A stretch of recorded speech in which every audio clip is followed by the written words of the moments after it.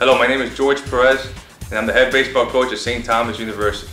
I've been coaching baseball at the high school and college level for the past 14 years. I would like to share some of the recent history of St. Thomas University's baseball program.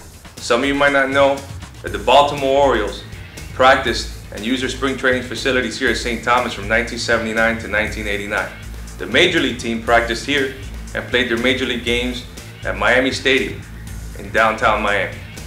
St. Thomas University's baseball program has a very rich history of the baseball coaches that have coached here in the past.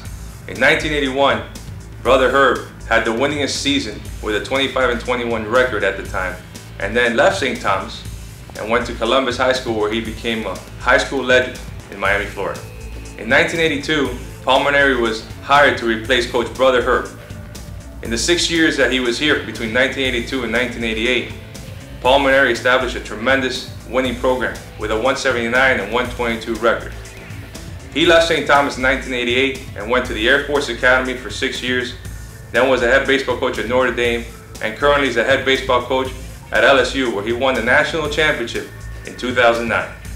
In 1988, after Paul Mainieri's departure, Al Avila assumed the head coaching job here at St. Thomas.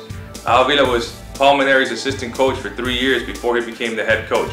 He did a tremendous job, averaging 28 wins a year.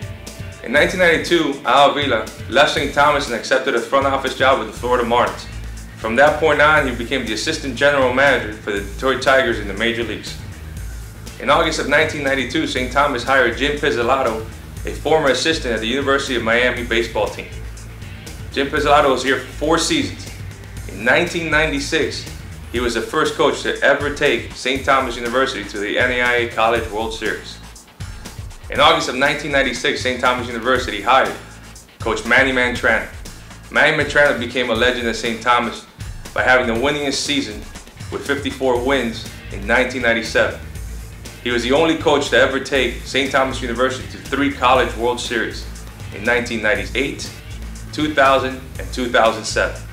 St. Thomas University has won many championships in its recent history.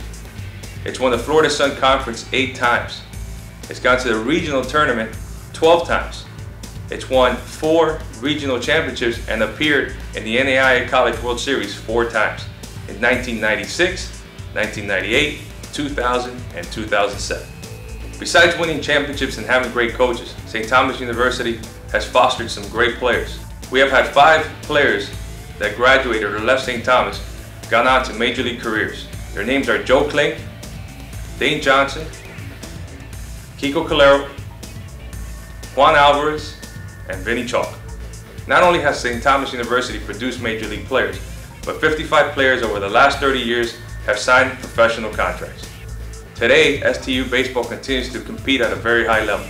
In 2010, St. Thomas University lost 3-2 in the opening round of the College World Series. We continue to recruit good athletes and good students. The 2010 baseball team had a 3.0 GPA for the first time in 10 years. Today, St. Thomas Athletics has great facilities. We have Frank Esposito Stadium, which is home to the baseball team, and we have the Fernandez Center, which is home to men's basketball, women's basketball, and women's volleyball. It is also home to the sports administration program. We have a tremendous weight room and tremendous facilities for all the athletes to come and unite as a group.